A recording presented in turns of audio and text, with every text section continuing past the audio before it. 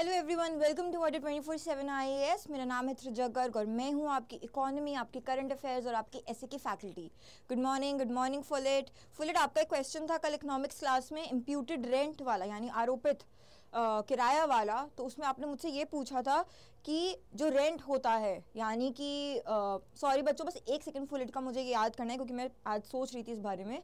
तो फुलेट उसमें जो आपने इम्प्यूटेड रेंट वाला पूछा था कि जो घर अपनी टूलेट सर्विसेज़ देते हैं, जो रेंट देते हैं तो क्या वो इम्प्यूटेड रेंट में आएगा?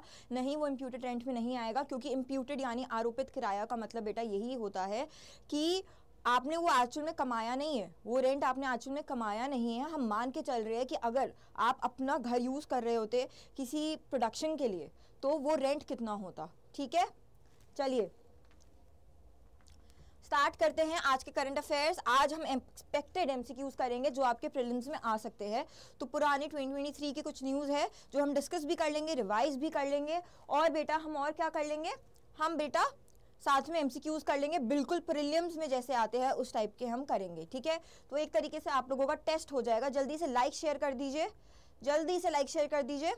सुबह नौ बजे होती है करंट अफेयर्स की क्लास और सुबह तीन, दोपहर को तीन बजे होती है इंडियन इकोनॉमी की क्लास इंडियन इकोनॉमी में हम राष्ट्रीय आय कर रहे हैं, यानी नेशनल इनकम और हमारे दो मेथड्स हो चुके हैं। एक मेथड बचा है एक्सपेंडिचर मेथड वो आज हम कंप्लीट कर लेंगे और कल हम पी वाई क्यू सॉल्व करेंगे सारे नेशनल इनकम्स के, यानी कि सारे राष्ट्रीय आय में जो प्रीवियस ईयर क्वेश्चन है, वो भी हम सॉल्व कर लेंगे। गुड मॉर्निंग गुड मॉर्निंग ये टेलीग्राम चैनल है यूपीएससी विथ रिजा मैम किसी को कुछ प्रॉब्लम है, किसी को कुछ पूछना है पीडीएफ चाहिए, आप मुझे यहाँ पे कांटेक्ट कर सकते हैं यूपीएससी विथ रिजा मैम ये ज़रूर ज्वाइन कर लीजिएगा।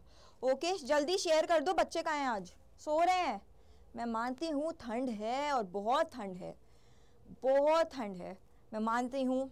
हाथ काँप रहे होंगे। मन नहीं लग रहा होगा कि कैसे सुबह उठे, कोई बात नहीं, बाद में कर लेंगे।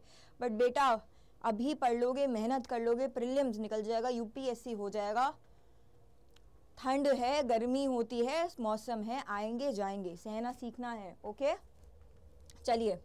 स्टार्ट कर रहे हैं और स्टार्ट करने से पहले मैं आपको बता दूँ, अगर आपकी प्रेपरेशन अभी स्टार्ट हुई है, यानी कि आप अगर 2025 का अटैम्प्ट दे रहे हो या 2026 का अटैम्प्ट दे रहे हो तो ये महापैक बेटा आपके लिए ही है, ठीक है? इसमें आपको सारे फाउंडेशन कोर्सेज जो है, वो मिल जाएँगे। आपको एन e का बैच मिल जाएगा। आपको पता ही है कि एन e से हमें शुरुआत करनी होती है अपनी प्रेपरेशन की।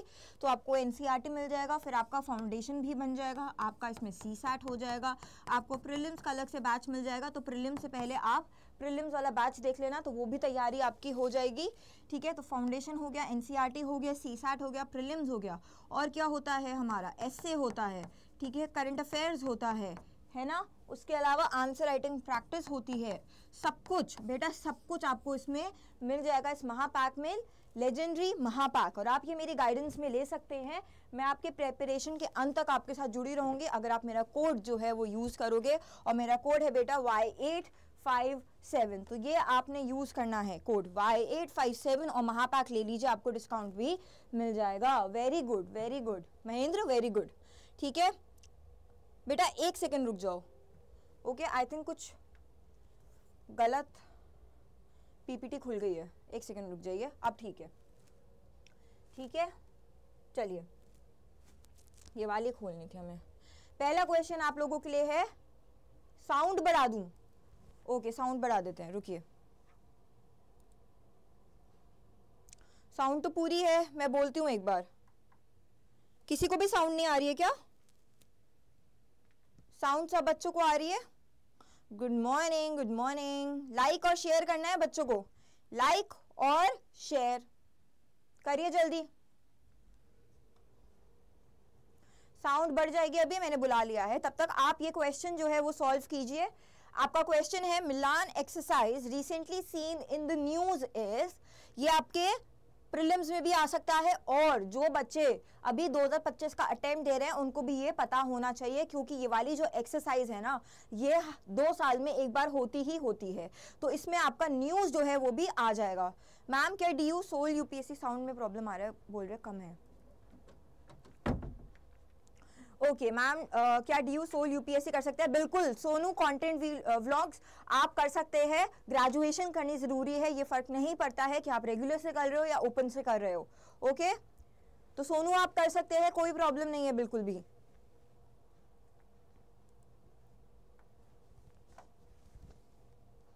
सब बच्चे आंसर लिखे?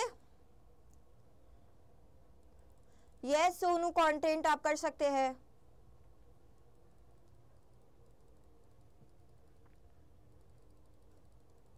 Very sweet Sandeep. चलिए।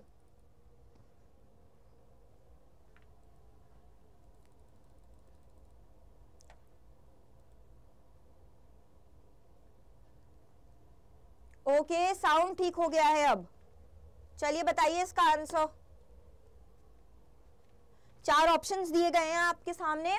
ज्वाइंट नेवल एक्सरसाइज यानी संयुक्त नौसैनिक अभ्यास मल्टीलैटरल आर्मी एक्सरसाइज यानी बहुपक्षीय सेना अभ्यास ज्वाइंट एयरफोर्स एक्सरसाइज यानी संयुक्त वायु सेना अभ्यास, या मल्टीलैटरल नेवल एक्सरसाइज यानी बहुपक्षीय नौसैनिक अभ्यास। क्या आंसर है इसका? D very good very good सब बच्चों का सही है ऑलमोस्ट तो बेटा, पंकज, जिन जिनको गलत है मल्टीनेचुरल लेवल एक्सरसाइज है ये, यानी बहुपक्षीय नौसैनिक अभ्यास। अब इस पर न्यूज़ क्या आई थी, आप समझ लीजिए। The mid-planning conference of Milan 24 exercise to be hosted by Indian Navy at Vishakhapatnam from 19th to 27th February 2024 तो 2025 के जो एग्ज़ाम दे रहे हैं, उनके लिए भी इंपॉर्टेंट हो गई ये न्यूज़ क्योंकि मिलन 24 अभ्यास का मध्य नियोजन सम्मेलन 19 से 27 फरवरी 2024 तक विशाखापट्टनम, कहा विशाखापट्टनम में भारतीय नौसेना द्वारा आयोजित किया जाएगा, क्या किया जा रहा है, याद रखिएगा। बेटा the mid planning conference the mid planning conference अब ये क्या होता है, इसके बारे में भी मैं आपको बता देती हूँ। सबसे पहले समझिए जो मिलान होता है, ये जो एक्सरसाइज होती है, ये बाइनियल होता है, होती है। बाइनियल का मतलब ये होता है कि दो साल में एक बार होती है। ओके दो साल में एक बार होती है। फ्लैगशिप कार्यक्रम मिलन एक द्विवर्षिक बहुपक्षीय नौसैनिक अभ्यास है। ओके मल्टीलैटरल नेवल एक्सरसाइज है। ये कब बनी थी? इंडियन नेवी ने बनाई थी बेटा 1995 में। इसकी स्थापना 1995 में भारतीय नौसेना द्वारा की गई थी। अब originally conceived in consonance with India look east policy आपको पता है इंडिया की लुक ईस्ट पॉलिसी है कि इंडिया के जो ईस्ट में जो कंट्रीज़ हैं, उनके साथ सामाजिक और आर्थिक जो है, यानी सोशियो इकोनॉमिक रिलेशंस को स्ट्रॉन्ग करना। है ना? तो बेटा, पहले ये एक लुक ईस्ट पॉलिसी का पार्ट था, यानी मूल रूप से भारत भारत की, पूर्व की ओर देखो नीति के अनुरूप कल्पना की गई थी। मिलन ने आने वाले वर्षों में भारत सरकार की एक्ट ईस्ट नीति यानी India's act east policy and security and growth for all in the region, जो इंडियन ओशन में जितने रीजन हैं, Indian ocean,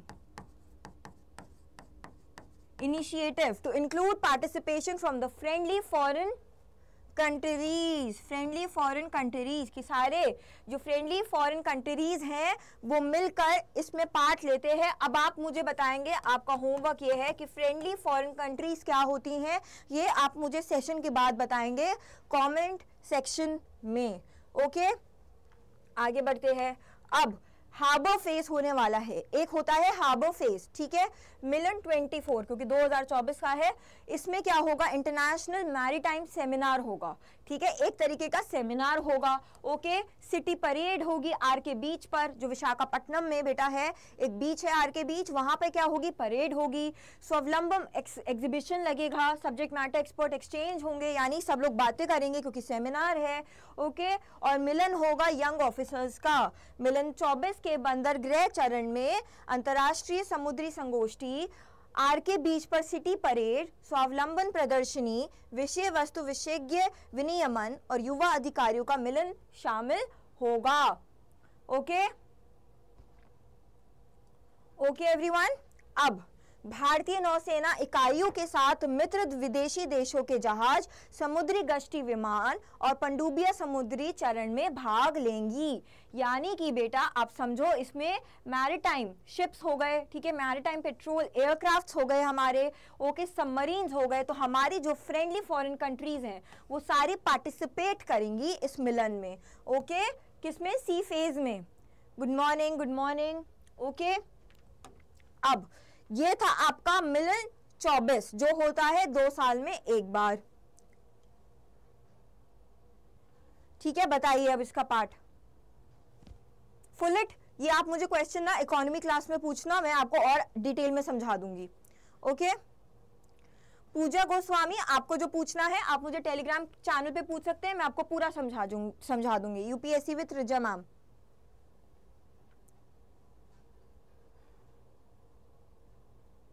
बताइए अगला क्वेश्चन आप लोगों के लिए which city does the Pavana river which has been mentioned in recent news pass through कहाँ से निकलती है ये वाली रिवर पवना नदी कहाँ से निकलती है?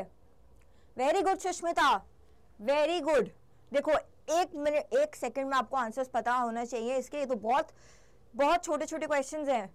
लंबे क्वेश्चंस में थोड़ा सेकंड ज़्यादा ले लो, लेकिन छोटे क्वेश्चंस में एकदम पता होना चाहिए। यूपीएससी एस्पिरेंट्स हो आप लोग।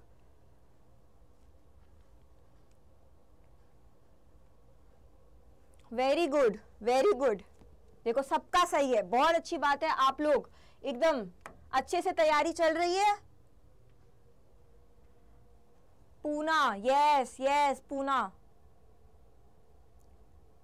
पुणे में है यस पुणे से निकलती है ये रिवर पवनी रिवर पुणे से निकलती है। ये अभी न्यूज़ में थी और ये न्यूज़ में क्यों थी? क्योंकि इस रिवर पे बेटा क्या हुआ था? थिक लेयर ऑफ़ फोम दिखा था। ये देखो फोम देख रहे हो? फोम ऐसे व्हाइट व्हाइट सा, है ना? तो thick layer of toxic foam दिखा था इस पवन्ना रिवर में, यानी नागरिकों और पर्यावरण कार्यकर्ताओं ने हाल ही में पावना नदी पर देखी गई।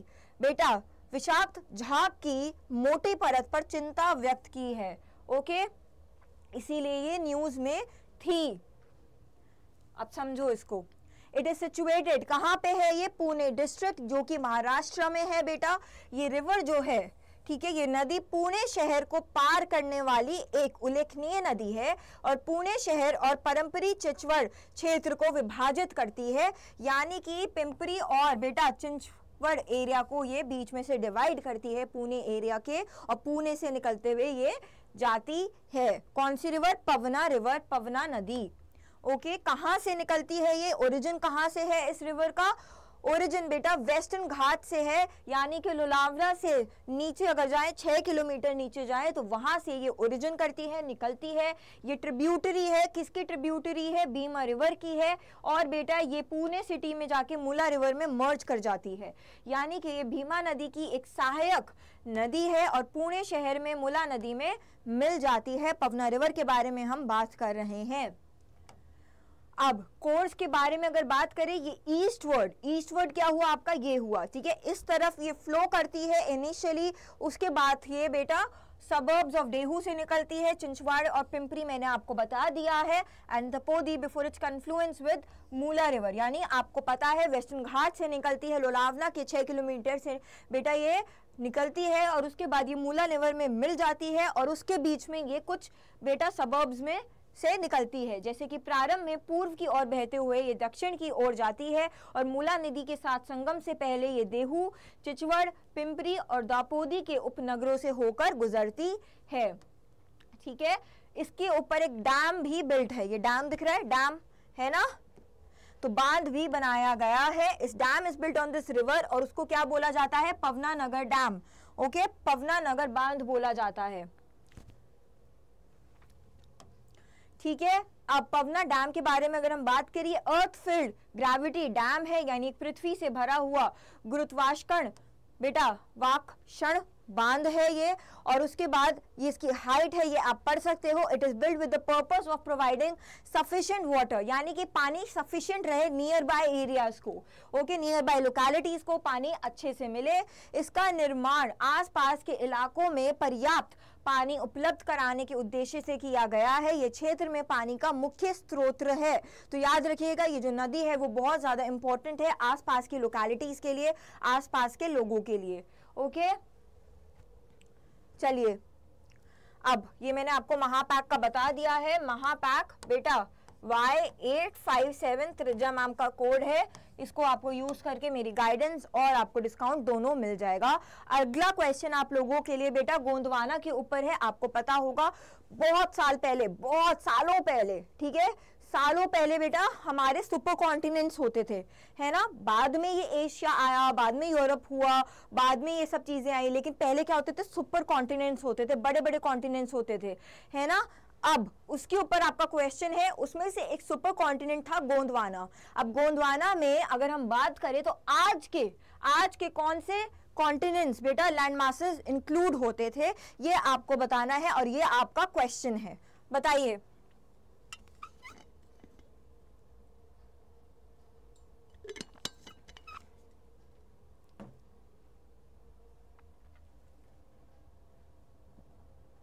Nine A M Sandeep.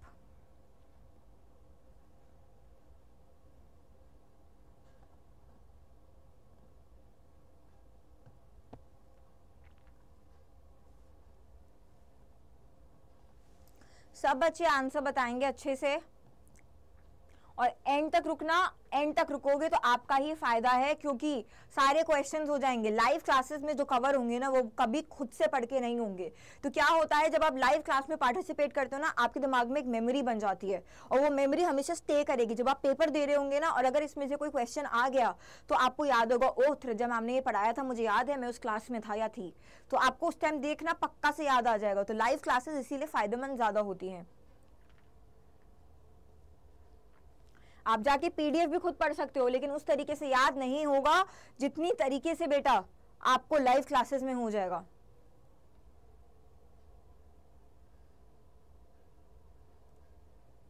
Very good एक बच्चे का आंसर रॉन्ग नहीं है। बहुत खुशी हो रही है।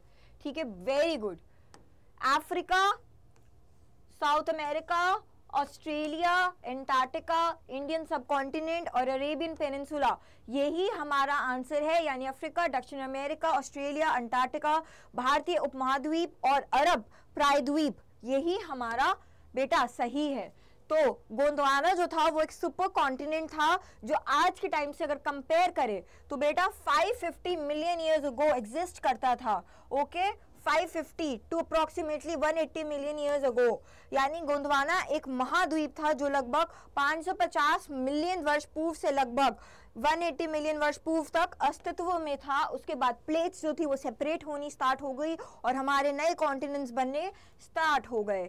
ओके तो वो फिर अब सेवरल बेटा लैंड मासेस में क्या हो गया? स्प्लिट हो गया।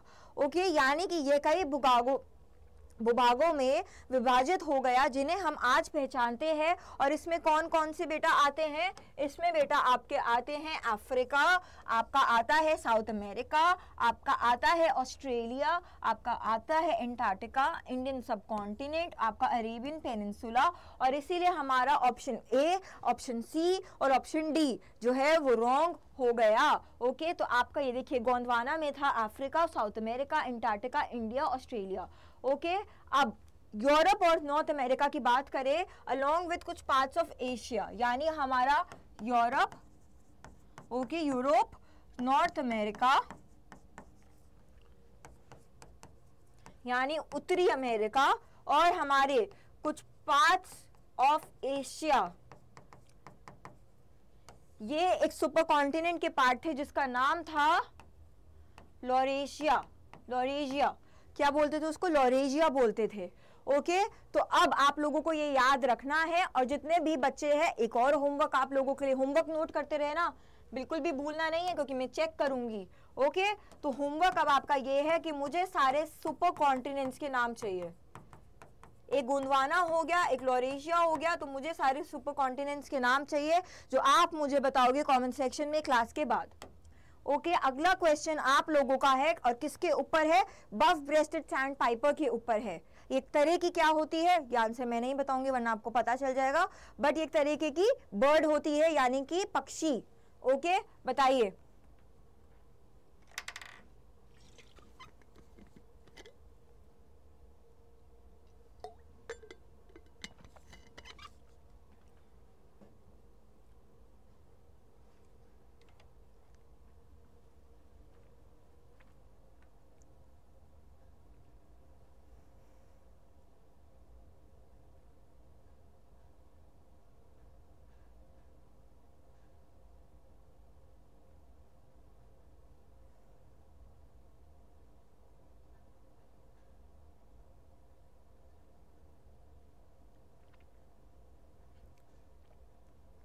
रॉन्ग आ रहा है रॉन्ग आ रहा है।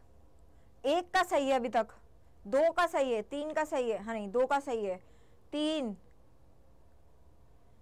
बताती हूँ, चिंटू का सही है, सोनू का सही है, असिका, भावना, पूजा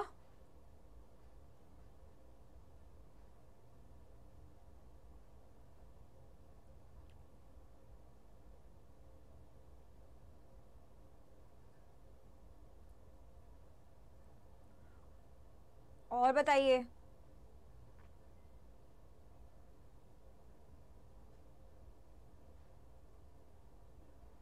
सरोज?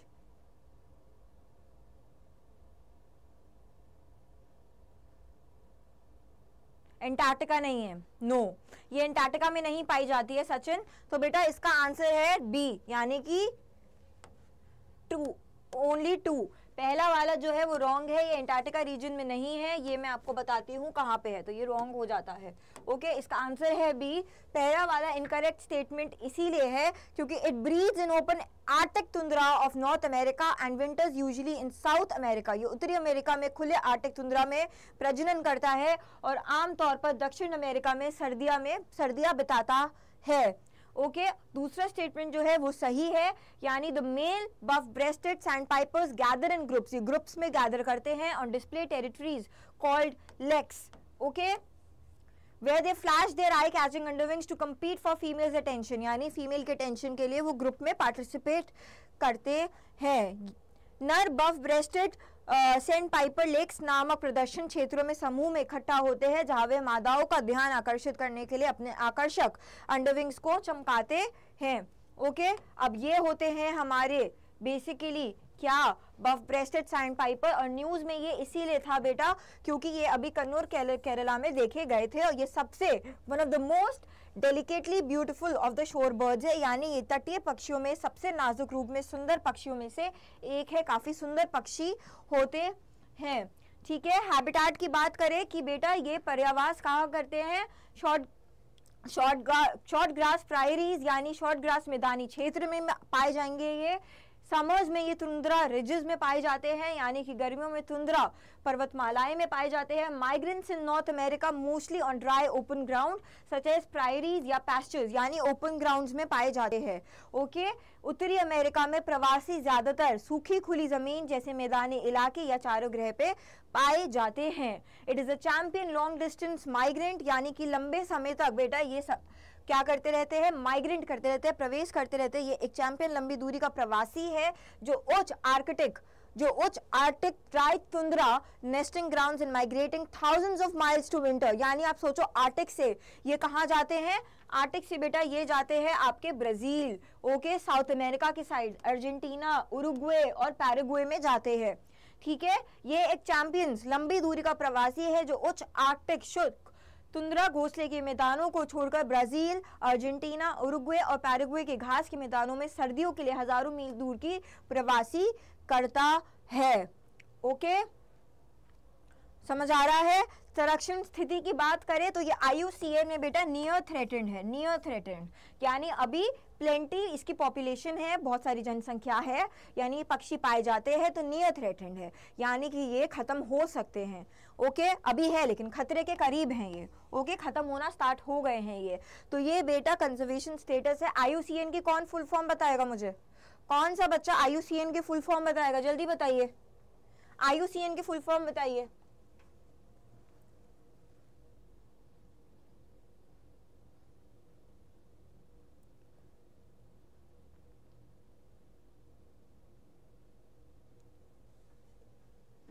आईयूसीएन की फुल फॉर्म बताइए सब बच्चे। एक बार फिर से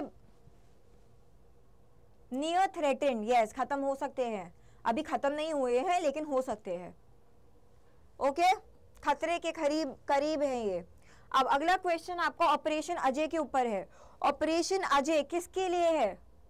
International Union for Conservation of Nature very good Sushmita International Union I U C N International Union for Conservation of Nature very good Chintu very good Arvind चलिए, अगला है आपका ऑपरेशन अजय के ऊपर। बताइए इसका आंसर जल्दी से लाइक और शेयर करना है।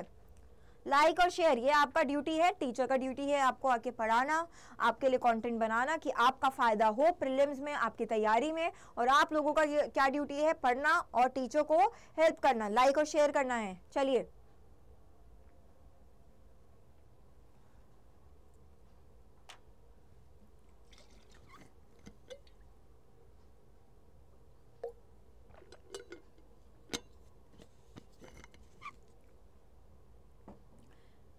Very good very good very good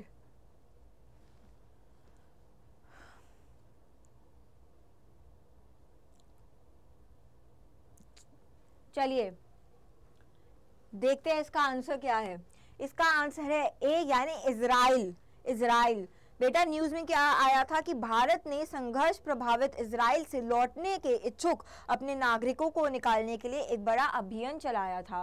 Israel से लोगों को वापस लाने के लिए बेटा ऑपरेशन अजय हुआ था, जो हमारे external affairs minister S Jaishankar हैं। उन्होंने बोला था, स्पेशल चार्टर्ड फ्लाइट्स जो है वो अरेंज हुई थी किन के लिए, इन लोगों के लिए जिनको वापस लेके आया गया था, कहाँ से? इसराइल से। ओके? अब इसी के तरह दूसरा ऑपरेशन भी था। एक तो ऑपरेशन अजय हो गया, जो इसराइल से वापस लेके आए थे। एक बेटा, आपका ऑपरेशन कावेरी था। क्या था? Operation Kaveri. This was the second evacuation यानी दूसरा इवैक्यूएशन था 2023 में, जो बहुत सारे लोगों को वापस लेके आए थे। कहाँ से? सूडन सूडन अप्रैल मई में वापस लेके आए थे सूडन से। ठीक है तो दो ऑपरेशन को आपको याद रखना है। ऑपरेशन अजय, जो इसराइल के लोगों इसराइल से अपने देश के लोगों, अपने देश के नागरिकों को वापस लेके आए थे। और आपका दूसरा है ऑपरेशन कावेरी, जिसमें सूडन के लोगों को वापस लेके आया गया था। ओके दिख रहा है? आपको पिक्चर्स दिख रही है? ठीक है? लाइक शेयर सब्सक्राइब 42 लोग देख रहे हैं, लेकिन 37 लाइक्स अगला क्वेश्चन आप लोगों के लिए. ठीक है? बाइगा ट्राइब्स के ऊपर है ये. बेगा ट्राइब्स के ऊपर है ये, बताइए.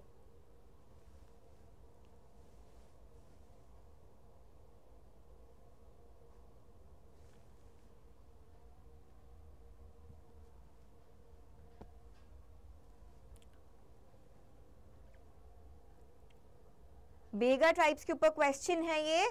They practice a form of shifting cultivation called Bewar वे बेवार नामक स्थानांतरित खेती का अभ्यास करते हैं और दूसरा है they are particularly vulnerable tribal group from the state of Karnataka यानी वे कर्नाटक राज्य से विशेष रूप में आ, से कमज़ोर जनजाति समूह में है। यस भावना यस बेटा आवाज़ तेज है, आप अपने फ़ोन या लैपटॉप का या कंप्यूटर का वॉल्यूम बढ़ा दो। सबसे तेज कर रखा है आवाज़। अब अगर ऐसे बहुत तेज बोलूँगी तो ऐसा लगेगा चीख रही हूँ।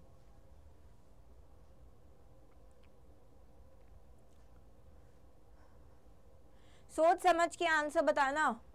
इसीलिए मैं बीच बीच में, बेटा, ये एक्सपेक्टेड एमसीक्यूज ले आती हूँ। देखो, आप अभी रिवाइज नहीं कर रहे हो।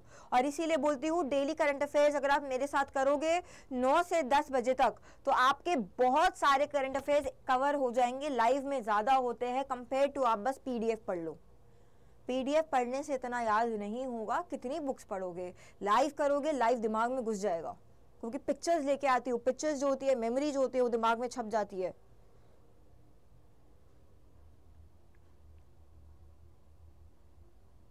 चलिए देखिए इसका आंसर इसका आंसर है ए यानी कि पहला जो है वो करेक्ट है। The practice a form of shifting cultivation called Bewar ये स्थानांतरित खेती का एक रूप अपनाते हैं, जिसको बिवार बोला जाता है। और बेटा बेगा ट्राइब जो है वो पर्टिकुलरली वर्नरेबल ट्राइबल ग्रुप है। कहा कि छत्तीसगढ़ की, ना कि कर्नाटका की। ओके ये बेगा जनजाति छत्तीसगढ़ के एक विशेष रूप से कमज़ोर जनजाति समूह में से एक है। ओके? अब ये है आपकी बेगा जनजाति। ओके अब recently, the Bega, particularly vulnerable tribal group, became the second to get habitat rights in the state of Chhattisgarh यानी कि ये छत्तीसगढ़ में रिजाइड करते हैं और कहाँ कहाँ मिलेंगे आपको? झारखंड में, बिहार में, उड़ीसा में वेस्ट बंगाल में, मध्य प्रदेश में और उत्तर प्रदेश में। हाल ही में बेगा विशेष रूप से कमज़ोर जनजाति समूह छत्तीसगढ़ राज्य में आवास अधिकार मिल गया है इन्हें। आवास अधिकार ओके करने वाला दूसरा समूह बन गया है। ये छत्तीसगढ़, झारखंड, बिहार, उड़ीसा, पश्चिम बंगाल, मध्य प्रदेश और उत्तर प्रदेश में रहते हैं। आगे बढ़ते हैं। ऑक्यूपेशन की बात करें, यानी कि इनका व्यवसाय क्या होता है कि बेटा slash and burn cultivation okay ये एक सेमी नोमैटिक लाइफ जीते थे, परंपरागत रूप से बेगा अर्ध, खाना दोष, जीवन जीते थे और काट कर और जलाकर खेती करते थे। और अभी की अगर हम बात करें तो इनकी जो लाइफ है, वो बेटा डिपेंडेंट है माइनर फॉरेस्ट प्रोड्यूस पे, यानी कि लघु वन उपज पे, जो वो फॉरेस्ट से यानी वन से जो प्रोड्यूस आता है उपज आता है उसको बेच के बेटा वो थोड़ा सा अपना व्यवसाय कमा लेते हैं जीवन कमा लेते हैं और अपना जी लेते हैं। ठीक है? अब सबसे इंपॉर्टेंट याद रखिएगा महुआ ओके? okay, इसके बारे में आपको याद रखना है। महुआ एक इंपॉर्टेंट खाना और ड्रिंक है इन लोगों के लिए। महुआ बेगाओं के लिए खान पान का एक महत्वपूर्ण पहलू है ठीक है? वो रहा आपका महुआ। ठीक है? It is an intoxicant prepared from the fermentation and distillation of the flowers of mahua tree यानी कि ये महुआ के पेड़ के फूलों के किड़वन और आवसन से तैयार किए गया एक नशीला, आसमान से तैयार किया गया एक नशीला पदार्थ है और ये खाने में भी खाते हैं और पीने में भी पीते हैं। ठीक है? खान पान के लिए बहुत इंपॉर्टेंट है जो महुआ ट्री महुआ पेड़ से निकलता है महुआ ये रहा महुआ ठीक है? अब, अगर हम इसमें बात करें, इनकी कल्चर की बात करें बेटा तो टैटू बहुत इंपॉर्टेंट और बहुत इंटीग्रल पार्ट है इनकी लाइफ का। यानी गोंदना बेगा संस्कृति का एक अभिन्न अंग है, गोद, गोदना। ओके टैटूज होते हैं इनकी पूरी बॉडी पे। अगर आप देखोगे, हाथ पे भी है, सर पे भी है, ठीक है? हर जगह इनके टैटूज होते हैं। Every age and body part has a specific tattoo reserved for the occasion यानी प्रत्येक आयु और शरीर के अंग पर अवसर के लिए एक विशिष्ट टैटू जो है वो आरक्षित है। ओके? तो क्या क्या याद करना है? छत्तीसगढ़ याद करना है। दूसरा क्या याद करना है? इनका आपको विवार याद करना है। ठीक है कल्टीवेशन तीसरा क्या याद करना है आपको? आपको याद करना है महुआ। ठीक है, चौथा क्या याद करना है? Tattoo okay? अब आगे बढ़ने से पहले जो बच्चे प्रीलिम्स 2024 दे रहे हैं, वो अभी भी प्रीलिम्स जो बैच जो है वो ज्वाइन कर सकते हैं। आठ जान को ही बैच स्टार्ट हुआ है तो आपको वो क्लासेस मिल जाएँगी, लेकिन आप एक क्रैश कोर्स की तरह इसको कंप्लीट कर सकते हैं, अपने प्रीलिम्स के चांसेस जो है वो बढ़ा सकते हैं। आपका रिविजन भी साथ में हो जाएगा। और बेटा, इसमें आपको ऑफलाइन टेस्ट सीरीज़ भी मिल जाएँगी। ये एक कॉम्बो है। ये है नौ हज़ार नौ सौ निन्यानवे का। आपको कोड यूज़ करना है वाई इसमें आपको मेरी गाइडेंस के साथ साथ बेटा डिस्काउंट भी मिल जाएगा और आप अड्डा ट्वेंटी की ऐप से डाउनलोड करके कॉइन्स यूज़ कर सकते हो और डिस्काउंट मिल जाएगा। ठीक है? तो इसमें आपका जीएस आपका सी और आपका करंट अफेयर्स तीनों कवर हो जाएगा प्रीलिम्स में, जो कि और कुछ चाहिए नहीं होता है। और टेस्ट सीरीज़ बेटा 50 है, जिसमें कि 35 जीएस की हैं, जो कि सब्जेक्ट वाइज भी हैं फुल लेंथ भी हैं ठीक है? आपकी 10 जो है वो सी सैट की हैं और पाँच जो है रिविजन टेस्ट है। पाँच जो है रिवीजन टेस्ट है। 20 जनवरी से डिलीवरी स्टार्ट हो जाएगी। 27 28 तक आपके घर आ जाएगी। तो जितनी जल्दी लोगे, उतनी जल्दी आपके घर पे आएगी। ओ शीट्स भी आएगी। और बेटा क्या आएगा? ओ शीट्स के साथ साथ आपको पता है, बहुत सारे कैंडिडेट्स होते हैं, वो गलत कर देते हैं गोला भरते हुए। तो वो भी आपकी प्रैक्टिस हो जाएगी। आपको एक इन्वायरमेंट मिल जाएगा। और अगर आप ये लोगे तो हमेशा ध्यान रखना टेस्ट सीरीज़ को सॉल्व करना है। Nine thirty to eleven thirty जो आपका जीएस का होता है और two thirty to four thirty ताकि आपका ब्रेन जो है, बेटा वो क्या हो जाए ट्रेन हो जाए उस टाइम चलने के लिए। ठीक है? चलिए आगे बढ़ते हैं। अगला क्वेश्चन बेटा, आपका डबल हम्ड कैमल्स के ऊपर है।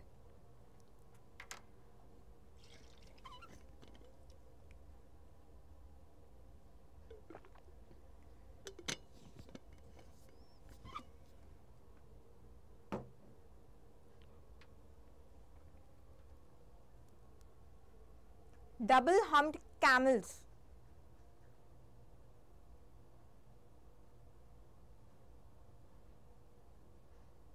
क्यों चिंटू पढ़ना नहीं है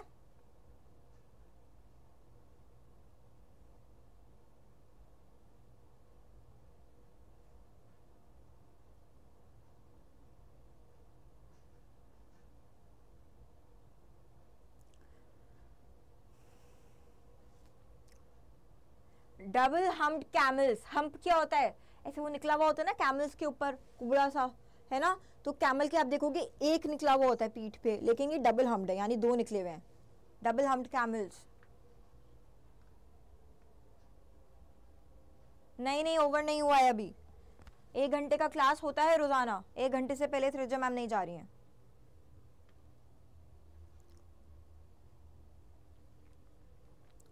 बताइए, सब लोग पार्टिसिपेट कीजिए। जितने बच्चे पार्टिसिपेट करेंगे बेटा, उतना आपका अच्छा रहेगा।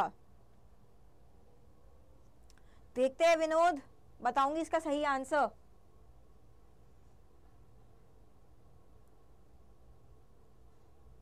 बताइए बताइए, सब बच्चे बताइए।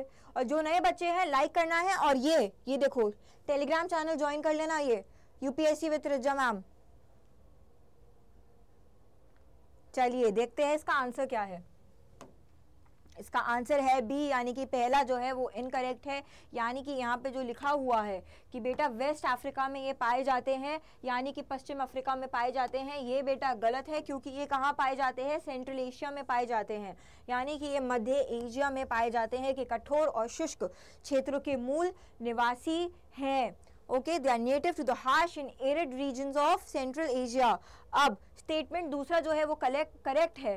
करेक्ट क्यों है? क्योंकि आईयूसीएन रेड लिस्ट के अंडर यानी आईयूसीएन की फुल फॉर्म अभी बताई थी। ओके आईयूसीएन के रेड लिस्ट के अंडर क्रिटिकली एंडेंजर्ड हैं ये, यानी गंभीर रूप से लुप्त प्राय हैं ये। है ना? तो बेटा न्यूज़ क्या आई थी? जिसने लद्दाख बोला था, यानी कि विनोद, आपका बिल्कुल सही था very good The army recently deployed double-humped camels for logistical support to the troops in eastern Ladakh. यानी कि सेना ने हाल ही में पूर्वी लद्दाख में सैनिकों को रसद सहायता के लिए, कि इनके ऊपर सामान दे के जाया जाए, सहायता के लिए दोहरे कुबड़े, कुबड़ वाली ऊट तैनात किए हैं कहाँ पे? लद्दाख में। डबल हम्ड कैमल्स या इनको बैक्टीरियन बैक्टीरियन कैमल्स भी बोलते हैं, यानी बैक्ट्रायन सॉरी बैक्ट्रायन कैमल्स बोलते हैं डबल कुबड़ वाले ऊट या बैक्ट्रायन ऊट की पीठ पर दो कुबड़ होते हैं जहाँ वे वसा जमा करते हैं। ओके, जहाँ पे वो फैट स्टोर करते हैं। साइंटिफिक नेम की अगर हम बात करें, वैज्ञानिक नाम की हम बात करें तो इसको कैमिलस बैक्ट्राइनस बोलते हैं। ओके, यानी कैमिलस बैक्ट्राइनस बोला जाता है। ओके, अब ये देखो, ऐसे दिखते हैं। देखो, लद्दाख में सेना ने क्या किए एम्प्लॉय किए लॉजिस्टिक्स के लिए। ठीक है, ये देखो, ऐसे दिखते हैं। अब they occupy habitats in Central Asia from Afghanistan to China Afghanistan से चाइना तक ये पाए जाएँगे, यानी वे मध्य एशिया से अफ़गानिस्तान से लेकर चीन तक, मुख्य रूप से मंगोलाई मैदानों और गोभी रेगिस्तान तक निवास करते हैं गोभी डेजर्ट। गोबी डेजर्ट पता है ना, मैंने आपको येलो सी पढ़ाया था कुछ टाइम पहले। अभी देखो, यहाँ पर भी गोभी डेजर्ट आ गया। मैंने आपको येलो सी बताया था कि येलो सी में क्या होता है, उसका जो पानी होता है, वो पीला दिखता है, क्यों दिखता है? क्योंकि गोभी डेजर्ट से जो है, मिट्टी उड़ के कहाँ आ जाती है? उस पानी में आ जाती है। जिसकी वजह से उसका जो रंग है, वो पीला हो जाता है। ये मैंने आपको समझाया था अभी कुछ टाइम पहले अपनी डेली क्लास में। A small population of Bactrian camels exist in the Nubra Valley of Ladakh. और इसके अलावा बेटा नुब्रा वैली ऑफ़ लद्दाख में भी ये पाए जाते हैं। ठीक है? अगला क्वेश्चन आपका तुंगा रिवर से है। बताइए इसका आंसर तुंगा रिवर जिसको तुंग बद्री भी बोला जाता है। बताइए। Tungabhadra Tungabhadra river भी बोला जाता है।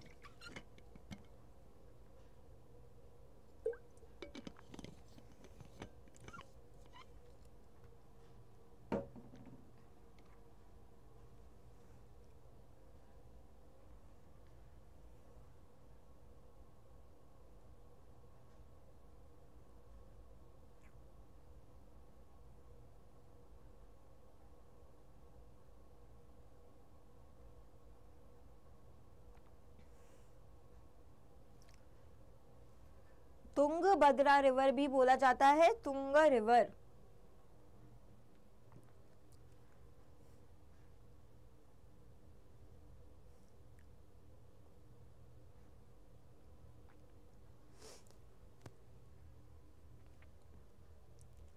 चलिए देखते हैं। ये बेटा इसका आंसर है बी, इसका आंसर है बी, यानी कि पहला वाला जो है वो गलत है। देखते हैं क्यों गलत है। तुंगा या फिर तुंग बद्रा रिवर जो है, एक सेक्रेट रिवर है सर्दर्न इंडिया में, ठीक है? यानी कि दक्षिण भारत में है, एक पवित्र नदी है जो कर्नाटक राज्य से होकर आंध्र प्रदेश तक बहती है, ठीक है? ये देखिए ये देखिए, यहाँ से गेरी तुंग बद्रा ठीक है? ये देखिए, ठीक है? ये दिख रही है? ये रही, ओके? अब नदी का प्राचीन नाम पंपा था, यानी पहले इसको क्या बोला जाता था? पंपा बोला जाता था। ठीक है, ये दो रिवर से बनती है, तुंगा रिवर और भद्र रिवर से। ये शायद सही था हमारा। अच्छा ईस्टर्न घाट से ओरिजिन नहीं करी है ना, बस ये गलत हो गया। ये पार्ट तो ठीक है, तुंगा रिवर और भद्रा रिवर से बन के बनती है ये तुंग भद्रा, लेकिन ईस्टर्न घाट से नहीं ओरिजिन करती है ये। ठीक है, अब ये वेस्टर्न घाट से करती है both Tunga and Bhadra river originate on the eastern slopes of the Western Ghats. यानी कि तुंग और भद्रा नदियाँ दक्षिणी घाट की पूर्वी ओर से उत्पन्न होती हैं। तुंगभद्रा डैम भी है यहाँ पे, जिसको पंपा सागर बोला जाता है। Is a multipurpose dam built across Tungabhadra river, in Hosapete, Ballari, यानी कर्नाटका का एक डिस्ट्रिक्ट है बल्लारी। ठीक है, वहाँ पे तुंगभद्रा रिवर पे बेटा ये तुंगभद्रा डैम भी है, यानी बंद भी है, जिसको पंपा सागर भी बोला जाता है। तुंगभद्रा बाँध, जिसे पंपा सागर के नाम से भी जाना जाता है, कर्नाटक के बल्लारी ज़िले के एक होसपेटे में तुंगभद्रा नदी पर बनाया एक बहुद्देश्य बाँध है। ओके? आया। तो ये कुछ क्वेश्चंस थे जो मुझे आपके कराने थे। अब कल हमारी होगी अगेन नाइन टू टेन क्या? हमारी क्लास ठीक है? डेली करंट अफेयर्स की क्लास लेकिन जाने से पहले जिसने टेस्टथॉन नहीं लिया है और उसको मैक्सिमम डिस्काउंट चाहिए, ठीक है? चार हज़ार नौ सौ निन्यानवे का है। आपको चार हज़ार सात सौ पच्चीस का मिल जाएगा। कैसे मिलेगा? ये कोड यूज़ करना। Y eight five seven T Y eight five seven T ये कोड यूज़ करोगे, इतने का मिल जाएगा बेटा ऐप कॉइन्स के साथ। और इसमें लेकिन आपको ऐप कॉइन्स भी ऐड करने पड़ेंगे और मेरी मेंटरिंग भी मिल जाएगी। जो बच्चा इसको ले यूज़ कर रहा है, मेरा कोड यूज़ कर रहा है, वो मुझे टेलीग्राम पे स्क्रीनशॉट भेज देना ताकि मैं आपको अपने गाइडेंस ग्रुप में ऐड कर लूँ। ठीक है, इसके अलावा जो 2025 का दे रहे हैं एग्ज़ाम ठीक है 2025 का वो स्टेप अप फाउंडेशन बैच कर सकते हैं। स्टेप अप फाउंडेशन बैच में बेटा एन है आपका, ठीक है, आपका सी है, आपका प्रिलिम्स की तैयारी है, आपकी मेंस की तैयारी है और आपके इंटरव्यू की तैयारी है। तीनों चीज़ों की आपकी तैयारी हो जाएगी, सब चीज़ों की हो जाएगी एन यानी एन से बेसिक से लेकर बेटे कहाँ जाएँगे हम? एन से बेसिक से लेकर हम कहाँ जाने वाले हैं? एडवांस पे जाने वाले सब कुछ तैयारी हो जाएगा आंसर राइटिंग भी मिलेगा। ठीक है? तो ये बैच में मैं आपको इको पढ़ाने वाली हूँ। तो ये आपको ज्वाइन करना है तो आप कर सकते हैं बेटा।